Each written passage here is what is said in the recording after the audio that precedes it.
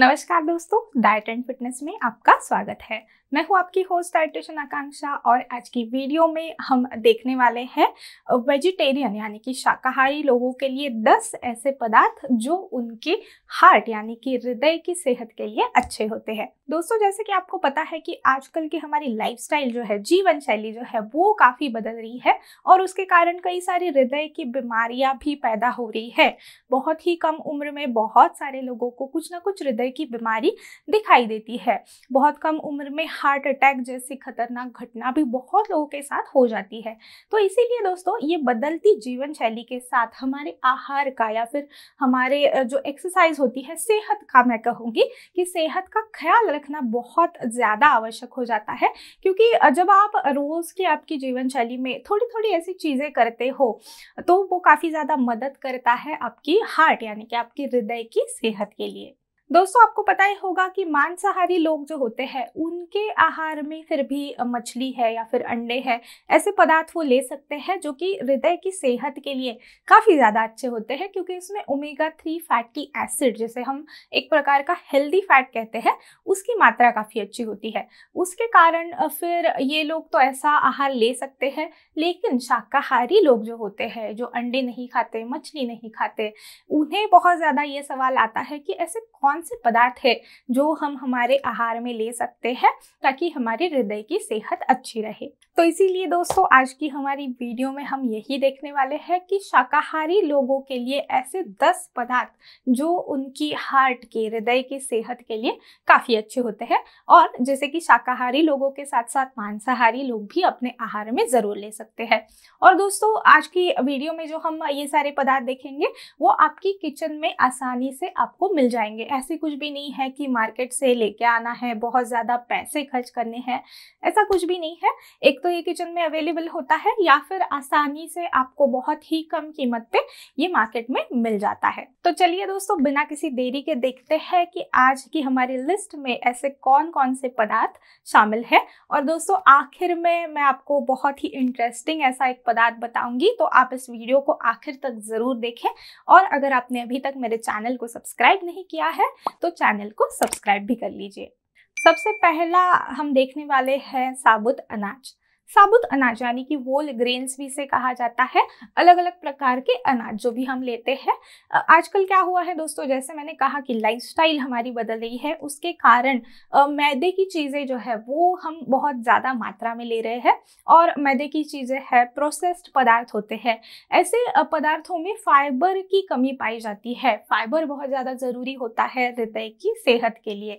अच्छी मात्रा में जब भी आप ये लेते हो तो कोलेस्ट्रॉल को नियंत्रण करता है या फिर वज़न नियंत्रण में भी मदद करता है तो इसीलिए फाइबर की कमी आहार में नहीं होनी चाहिए। और फिर इसीलिए साबुत अनाज जो होते हैं, उसमें काफ़ी अच्छी मात्रा में सॉल्युबल फाइबर या फिर डाइटरी फाइबर के साथ साथ आयरन है मैग्नीशियम है, कई सारे बी विटामिन है, ऐसे कई सारे पोषक तत्व भी हमारे शरीर को मिल जाते हैं। तो गेहूँ, जवार, बाजरा, ओट्स या फिर बार्ली जो होता है, ऐसे कई सारे साबुत अनाज है, जिनका आपको आपके आहार में समावेश करना है। दूसरा पदार्थ है हरी पत्तेदार सब्ज़ियाँ। तो हरी पत्तेदार सब्ज़ियाँ भी फाइबर से भरपूर होती है। फाइबर की काफ़ी अच्छी मात्रा इनमें पाई जाती है और फाइबर के साथ साथ कैल्शियम है आयरन है फॉलिक एसिड है, ऐसे कई सारे ज़रूरी पोषक तत्व भी इससे हमारे शरीर को मिलते हैं। तो इसीलिए जो हरी सब्ज़ियाँ होती है, वो आपको आपके आहार में ज़रूर लेनी है। अगर पॉसिबल होता है तो एक मील में, यानी कि दिन भर के तीन आहार में से एक आहार में आपको ये ज़रूर लेनी है। ब्रेकफास्ट में ज़्यादातर हम नहीं लेते हैं या फिर कुछ कुछ लोग होते हैं जो रोटी सब्ज़ी खाते हैं अपने नाश्ते में, जो भी अच्छा है। लेकिन अगर ब्रेकफास्ट में आप कुछ और ले रहे हो तो दोपहर के खाने में या फिर रात के खाने में आपको एक हरी पत्तेदार सब्ज़ी ज़रूर रखनी है। मेथी है, मूली है, पालक है या फिर जो भी आपको पसंद है, वो सब्ज़ी आप ले सकते हो। इससे क्या होता है फाइबर के कारण ब्लड वेसल्स में जो वसा के जमने का खतरा होता है, वसा है या फिर कोलेस्ट्रॉल जमता है, उस खतरे को भी ये कम कर देता है। और आपको पता भी होगा दोस्तों कि ब्लड वेसल्स में जब भी वसा जम जाता है कोलेस्ट्रॉल जम जाता है तो उसके कारण हार्ट स्ट्रोक है या फिर हार्ट अटैक का खतरा है, वो बहुत ज़्यादा बढ़ जाता है। और इसीलिए आपको हरी सब्ज़ियाँ लेनी है, आसानी से मार्केट में मिल भी जाती है और पोषक तत्वों से भरपूर भी होती है। हरी सब्जियों के बाद तीसरा जो पदार्थ है हमारा सलाद। सलाद का समावेश बहुत कम लोग अपने आहार में करते हैं। यानी कि अगर आप देखो तो आपको दिखाई नहीं देगा कि सलाद ज़रूर जो लोग ऐसे आहार में अपने समावेश करते हैं। और अगर सलाद आप लेते भी हो तो बहुत सारे लोग आपको ऐसे बोल देते हैं कि सलाद क्यों खा रहे हो? आप डाइट पे हो क्या? यानी कि वेट लॉस के डाइट पे। लेकिन ऐसा कुछ भी नहीं होता है। रेगुलर अगर लाइफ में आप सलाद लेते हो अपने आहार में तो वो काफ़ी अच्छा पर्याय हो जाता है क्योंकि कच्ची सब्ज़ियाँ उसमें जो होती है, उससे आपको काफ़ी अच्छी मात्रा में फाइबर डाइटरी फाइबर मिल जाता है। और फिर उसके कारण हृदय की कई सारी बीमारियों को ये दूर रखता ही है, लेकिन उसी के साथ साथ पाचन के लिए काफ़ी अच्छा होता है। हमारा ब्लड प्रेशर नियंत्रित रखता है। गाजर, मूली, पत्ता गोभी या फिर प्लेन टमाटर, प्याज की स्लाइसेस बना के आप ले सकते हो, ककड़ी ले सकते हो। किसी भी एक प्रकार के सलाद का समावेश भी आपको आपके आहार में ज़रूर करना है, हृदय के स्वास्थ्य के लिए। चौथा पदार्थ है फल। सब्ज़ी और सलाद की तरह ही फल ताज़े ताज़े भी आपको आपके आहार में लेने चाहिए। सेब है या फिर अलग अलग प्रकार की बेरीज जो आती है, यानी कि अंगूर जो आते हैं अलग अलग प्रकार के, या फिर विटामिन सी युक्त फल जो होते हैं, संतरा मौसम्बी है, या बाकी के फल भी आप ले सकते हो, पपीता है या फिर अनार है, जो भी फल आपको पसंद है, वो आपको ज़रूर आपके आहार में लेना चाहिए। फल जो होते हैं, वो खासतौर पे आपको स्नैकिंग के समय पे लेने हैं, ताकि क्या हो जाता है, कुछ अनहेल्दी आप खाते हो, जैसे कि चिप्स है या फिर कुछ नमकीन है बिस्किट्स है, ऐसी चीज़ें खाने से अच्छा है कि आप अगर कोई एक सेब या फिर कोई भी एक फल अगर आपके आहार में लेते हो तो उससे बहुत ज़्यादा पोषण शरीर को मिलता है। विटामिन ए है विटामिन सी है डाइटरी फाइबर भी है, ऐसी सारी जो हेल्दी ज़रूरी चीज़ें होती है, वो आपको इसमें मिलती है। और अगर आप चिप्स जैसी चीज़ें खाते हो तो आपको पता है क्या होता है उसमें प्रोसेस्ड चीज़ें सबसे पहले तो ये होती है, ज़्यादा नमक है, ज़्यादा शक्कर हो सकती सकती है, मैदे की बनी होती है या फिर बहुत ज़्यादा तेल में तली जाती है। तो ये किसी भी प्रकार से हेल्दी नहीं रहती है हमारे हृदय के स्वास्थ्य के लिए।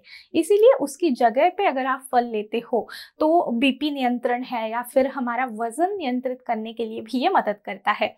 और जैसे कि आपको पता होगा कि हार्ट की बीमारी यानी कि किसी भी प्रकार की हृदय की बीमारी से अगर आपको बच के रहना है तो आपका वज़न नियंत्रण होना काफ़ी ज़्यादा आवश्यक है। तो इसीलिए ताज़े ताज़े फल जो आते हैं वो भी आप ले सकते हो। पांचवा पदार्थ है अखरोट।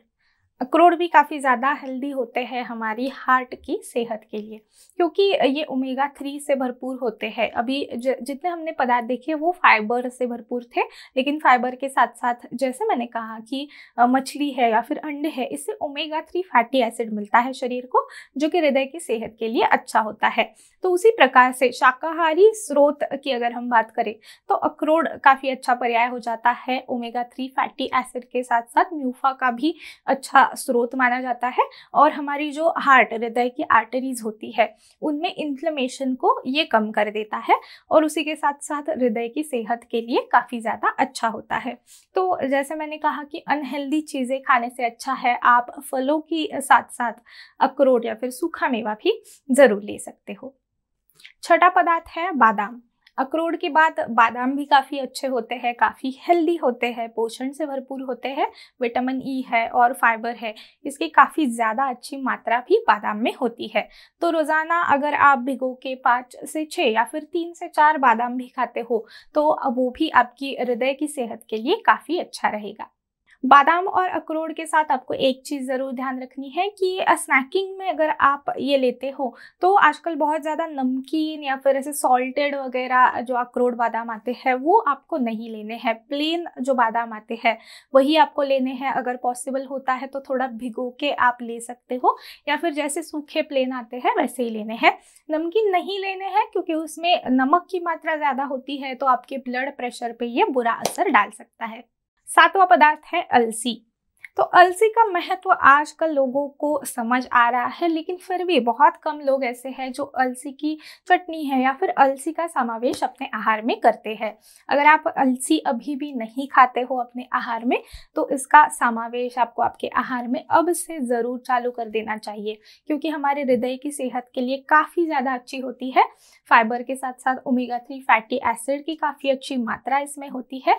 तो इसी के कारण अगर आपको हृदय की सेहत का ख्याल ख्याल रखना है और हार्ट अटैक जैसी जो बीमारियाँ होती है, उनके खतरे से दूर रहना है तो भी अलसी आपको आपके आहार में अवश्य लेनी चाहिए। अलसी में लिग्नांस नामक घटक भी होते हैं, जो भी हमारे हृदय की सेहत के लिए काफ़ी ज़्यादा अच्छे होते हैं। आठवां पदार्थ है बीज।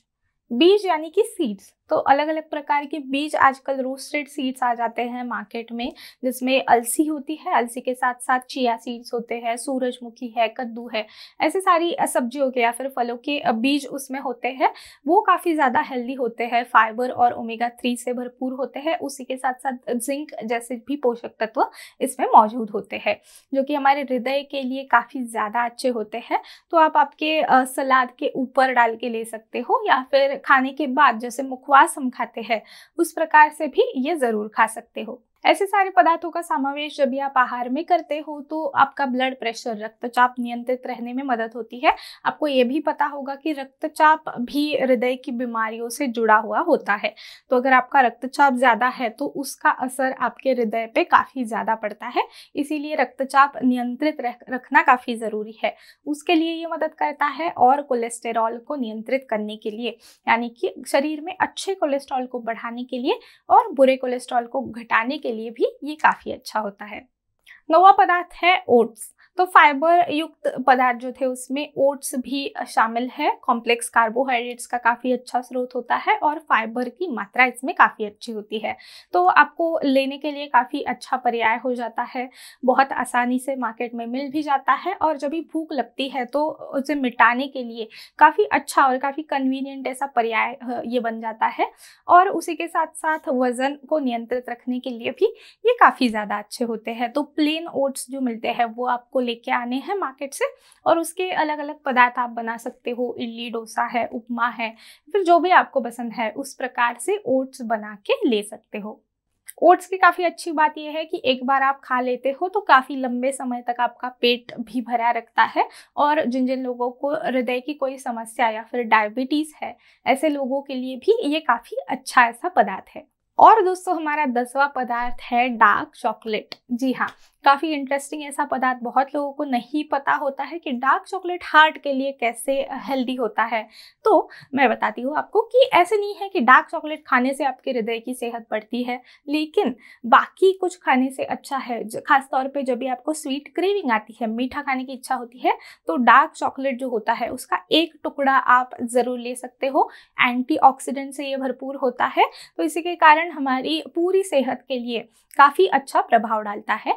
लेकिन आपको ये पता चलना है कि जो भी चॉकलेट आप खाते हो, वो dark chocolate, hundred percent pure dark chocolate होना चाहिए। बहुत बार डार्क चॉकलेट के नाम पे शुगर वाले जो चॉकलेट्स होते हैं, जो शक्कर से भरपूर होते हैं, ऐसे बेचते हैं तो मिनिमम सत्तर प्रतिशत तक उसमें कोकोआ का जो प्रमाण होता है, वो होना चाहिए। और चॉकलेट है तो इसीलिए ज़्यादा मात्रा में ज़रूर आपको नहीं लेना है, सही मात्रा में। यानी कि जैसे मैंने कहा कि जब भी एक आध क्रेविंग आती है, दिन भर में एक आध छोटा टुकड़ा अगर आप लेते हो तो उतना ठीक है, लेकिन चॉकलेट भी आपको ज़्यादा मात्रा में नहीं लेना है, क्योंकि एट द एंड वो चॉकलेट है कैलोरीज से भरपूर होता है तो बहुत मात्रा में आप खाते हो तो आपको पता है क्या होगा, आपका वज़न बढ़ेगा। और कोई भी चीज़ बहुत ज़्यादा मात्रा में, अतिरिक्त मात्रा में सेहत के लिए वैसे भी अच्छी नहीं होती है। आज की वीडियो के लिए बस इतना ही। अगर आपको ये वीडियो पसंद आया है तो वीडियो को लाइक करना बिल्कुल ना भूलें और अपने दोस्तों के साथ वीडियो को शेयर भी करें। हम मिलते हैं अगली वीडियो में। Good bye